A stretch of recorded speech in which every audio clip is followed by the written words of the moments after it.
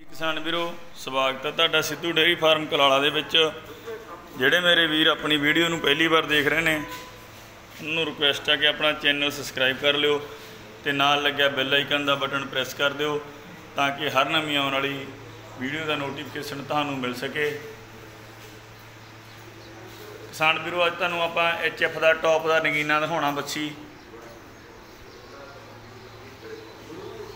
Video ਦੇ and ਤੱਕ ਜ਼ਰੂਰ ਬਣੇ ਰਹੋ।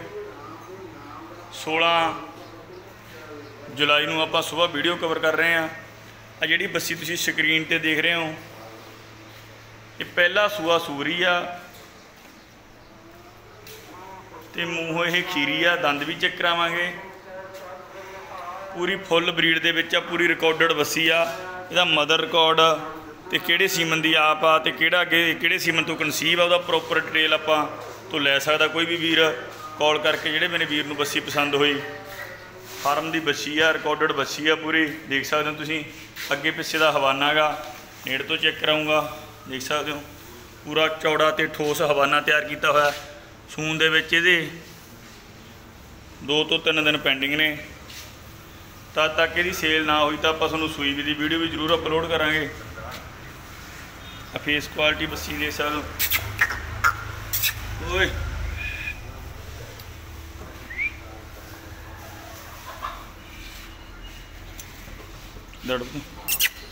ਦੇਖ ਸਕਦੇ ਹੋ ਬੱਸੀ ਦੀ ਬੇਸ ਕੁਆਲਿਟੀ ਦੰਦ ਚੈੱਕ ਕਰਾ ਬਤੋ ਆ ਦੇਖ ਸਕਦੇ ਹੋ ਪੂਰੀ ਖੀਰੀ ਬੱਸੀ ਆ। ਪੱਠੇ ਖਾ ਰਹੀ ਨਾ ਦੇਖਣੀ ਹੈ। ਆ ਦੇਖ। ਸਕਦੇ ਹੋ ਕਿਸਾਨ ਵੀਰੋ, ਪੂਰੀ ਖੀਰੀ ਪਿਓਰ ਖੀਰੀ ਦੇਖ ਲਓ। ਛੱਡ ਦੇ ਬਸ ਦੇ। ਓਕੇ। ਅੱਗੇ ਪਿੱਛੇ ਦਾ ਹਵਾਨਾ, ਤੁਹਾਨੂੰ ਪਹਿਲਾਂ ਹੀ ਦੱਸਿਆ, ਦੇਖ ਸਕਦੇ ਹੋ ਹਵਾਨਾ। ਥਣ ਪੂਰਾ ਮੁੱਠੀ ਵਾਲਾ ਕੱਢੂਗੀ, ਦੇਖ ਸਕਦੇ ਹੋ। ਪਿੱਛੇ ਸੂਲ ਤੋਂ ਸਟਾਰਟ ਹੋ ਕੇ ਪੂਰਾ ਟੈਟ ਹਵਾਨਾ ਤੋਰ ਪੱਤੇ ਨੂੰ। ਆ ਬੱਚੀ ਦਾ ਤੋਰਾ ਵਗੈਰਾ ਦੇਖ ਸਕਦੇ ਹੋ।